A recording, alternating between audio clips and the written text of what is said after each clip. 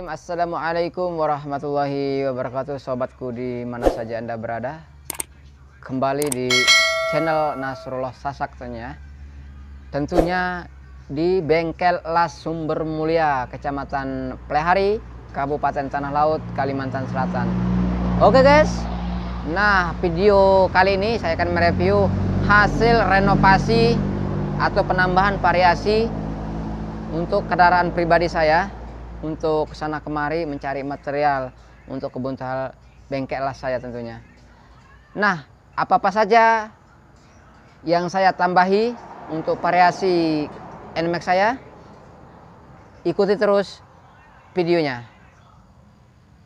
Ya guys, pertama pemasangan stiker seperti ini. Ini stikernya saya pesan online Nah, terus memasangnya saya sendiri yang memasang di sela-sela waktu saya istirahat. Nah, di sela-sela waktu saya istirahat ya, saya menyempatkan diri untuk masang sendiri. Seperti ini variasinya. Nah, ini online juga, saya pasang sendiri juga. Seperti itu. Terus Nah, stikernya guys. Lebih sporty, warna merah karena warna favorit saya juga guys. Terus kopernya. Nah ini saya pesan juga. Tampak dari belakang seperti ini. Nah itu ada model koper untuk knalpotnya juga. Nah seperti itu guys. Nah seperti ini. Ya kelihatannya lebih elegan lebih sporty guys kalau kita lihat dari jauh. Nah ini semua saya pasang sendiri tapi untuk mendapatkan barangnya ini saya online semua. Nah terus yang perlu apa namanya sobat-sobatku tahu ini joknya guys. Ini joknya kemarin saya pesan dua. Itu totalnya satu juta guys.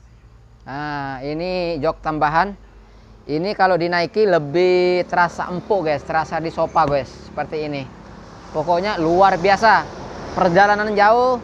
Nah bokong kita itu tidak tidak sakit ya. Nah, biasanya ini kalau kita perjalanan jauh yang terasa itu di bokong. Nah kalau untuk kita pakai NMAX ini terus kita pakai jok seperti ini dia lebih rileks lebih santai dan tentunya tidak capek guys. Nah mengurangi capek guys. Nah seperti ini. Nah pokoknya luar biasa mantap jos pokoknya. Nah seperti itu guys nah kalau untuk pemasangan stiker ini biasanya saya masang tuh malam kemarin. Malam malam lah biasanya ini saya pasang sendiri. Jadi agak kur agak apa namanya agak kurang sempurna gitu kan. Kalau kita mau upakan ini biayanya mungkin sekitar di atas 150-an nah seperti itu. Nah ini mobilnya motornya belum dicuci guys. Seperti itu. Nah terus untuk sobat-sobatku, nah yang punya NMAX yang paling utama ini guys, ini spakbor tambahan. Nah ini guys tampak, ini mengurangi percikan uh, lumpur ke belakang sana. Ini sangat-sangat berfungsi guys. Ini. Terus ini alas kaki, pokoknya lengkap semua guys. Nah, lengkap semua. Kalau untuk spion masih ori. Soalnya kenapa saya nggak ganti? Karena ini masih ori, jadi pemandangannya luas ke belakang, guys. Nah, luas ke belakang. Kalau kita ganti yang variasi itu, kalau klik kita lihat ke belakang itu agak kurang. Nah, seperti itu. Nah.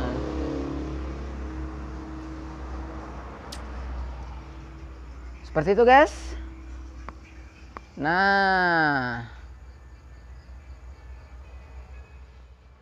Oke guys, itu dulu video saya untuk kali ini. Mudah-mudahan bermanfaat tentunya bagi yang menontonnya.